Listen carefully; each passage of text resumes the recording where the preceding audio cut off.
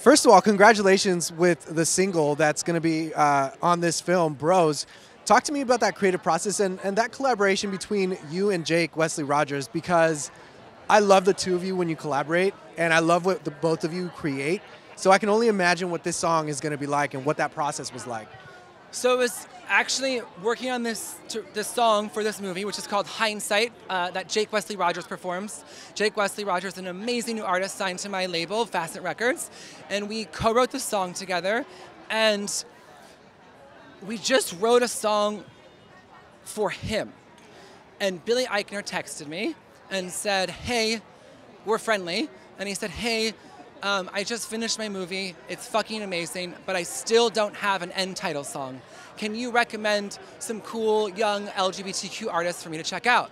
And I was like, not only can I recommend Jake Wesley Rogers, but I can send you a song right now that's fucking amazing. And I was like, if you like it, we can tweak it to fit your movie. Let me know. Sent it to him, and he was like, don't fucking touch it. It's perfect. Done. This is our end title. So kind of like that never happens. It was like just meant to be. It was in the stars. Jake and I had written the song two days beforehand. Billy texted me. I texted to him, and here we are. What do you think it was about the song that drew his attention and you know made it to this film? The song is um, inspiring but still emotional. It's hopeful but still grounded. Um, and Jake just sings his fucking ass off. so I think it, it fit, per- it has energy, but it still feels like it means something. It was just, I think, the perfect fit. And then when I saw them, I got to see it a couple months ago, it just is beyond perfect.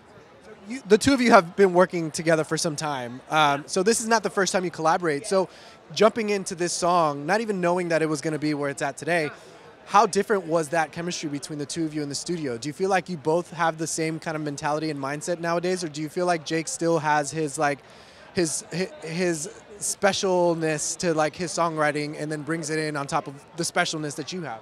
Yeah, when I work with Jake, it's really about giving him space to kind of figure out his own world, figure out what he wants to say, and then I come in there once I feel like he and I, we, he does it in front of me. He's at the piano, he's mumbling, he's humming, and I give him space to hum and mumble and play. And then when I feel like he's onto something, I step in and like make him focus and elevate on the on what feels really special.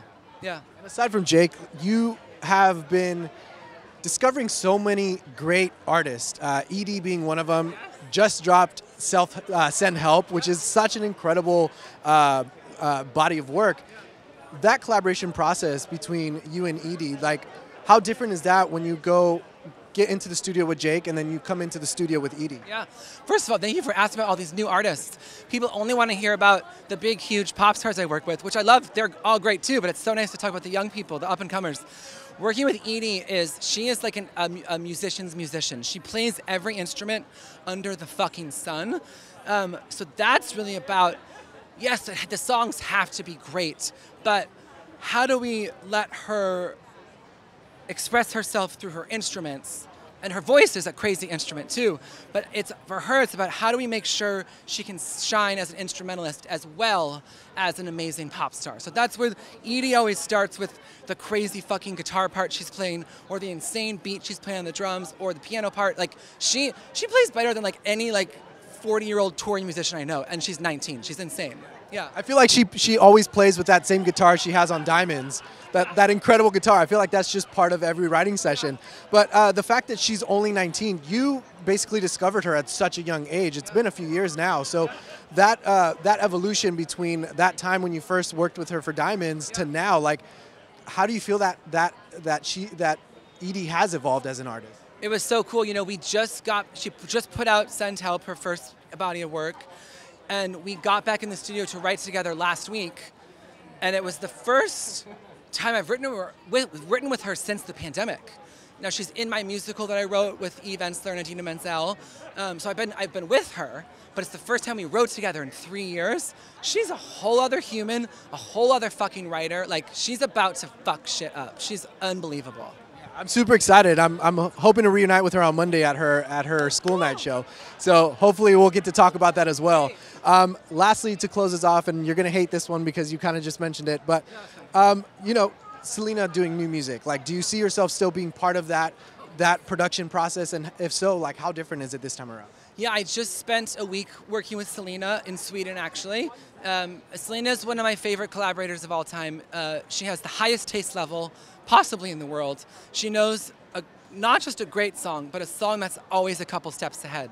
Her instincts are just priceless, and working with her is so beautiful. Um, and so, yes, I am definitely involved in the next album, and as much as she'll have me, I will fucking be there.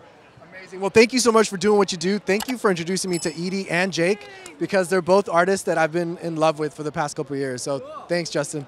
Awesome. Thank you.